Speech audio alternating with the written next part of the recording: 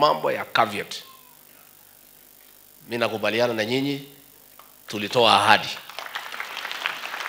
Na jana nimekuwa na kikao na Rais Shafaraga kabla nikuja hapa, tukijadiliana mambo ya hapa Joro na Nakuru County, na tumeongea mambo ya caveat na rais, na tumekubaliana tutaitatua.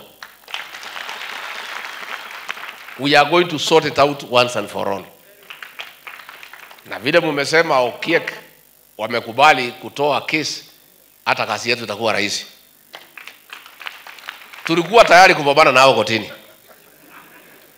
na si mzuri serikali kupambana na Okiek, ni jamii kidogo, si ndio? Sasa itakuwa ni makosa sisi kupambana na Okiek, lakini vile mumesema, mumeongea, nimekubali. Tutafanya hiyo mkutano ya jamii ya Wakalenjin na Okiek, tusuluhishe haraka iwezekanavyo, caveat itolewe, mwende kwa AFC mchukue pesa, mwende kwa bank mtumie hizo title ndio hata mtu akipata shida kotini, title anaweza kufanya nini?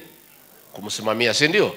Kwa sababu ile title mko nayo sasa ni karatasi, hawezi saidia wewe. So I want to give the commitment of my boss President William Ruto and his government that the issue of caveat that has been placed on parcels of land in this county of Nakuru our government will sort it out once and for all to the satisfaction of the people of this great county.